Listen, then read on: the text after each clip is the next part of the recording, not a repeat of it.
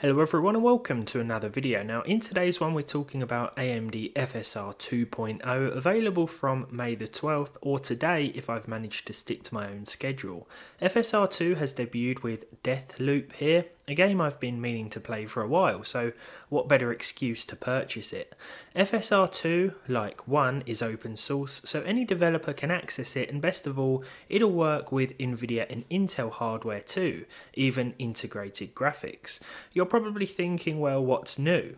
FSR has been implemented in games for ages, right? Cyberpunk, Far Cry 6, Resident Evil Village, just to name a few, have been benefiting from this technology for months, and it's been instrumental in some of my lower end hardware tests, often turning unplayable frame rates into playable ones. FSR uses spatial upscaling. It takes a lower resolution image and upscales it to your monitor's native res. The resolution the supported game is rendered at depends on the FSR preset you choose, and the lower the FSR preset, the lower the quality of the final result.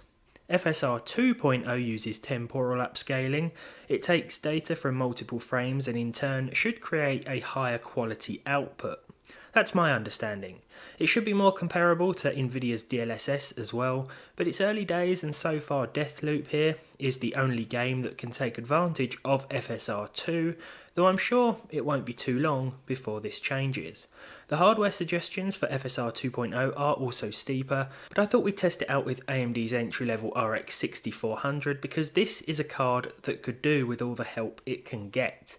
The RX 6400 actually struggles quite a bit with Deathloop, so much so that dropping the native resolution or enabling FSR is almost required for a more consistent experience. Even then, combining 900p and enabling FSR would probably be a better bet if you have a more consistent 60 FPS target in mind. At the moment, the game is running at native 900p with the lowest settings and low anti-aliasing, and we're averaging 60 frames per second with a few performance problems. With FSR 1.0 enabled and set to balanced with the graphical presets still at very low, there are still some performance issues, but that's to be expected. This is a very welcome improvement though over native resolution because although it doesn't look as sharp, I'd take the higher frame rate any day. This is a very early level in the game, but it seems to put our 6400 through its paces with all that's going on on screen. Before we move on to FSR 2.0, here is how FSR 1.0 looks with balanced mode when we take a still screenshot. It's fine, you can still see everything you need to, but it's easy to tell that this isn't native resolution. With FSR 2.0 and the same balanced setting, the game does look sharper. How easy this is to pick up on video I can't say but there is certainly a difference. It's still noticeably sharper during gameplay too and considering this new version of FSR is apparently more demanding, the 8 or so frames sacrificed isn't too concerning. The 1% lows were very similar between the two FSR versions, but FSR 2.0 produced a better 0.1% low because of one little stutter that happened during the first run.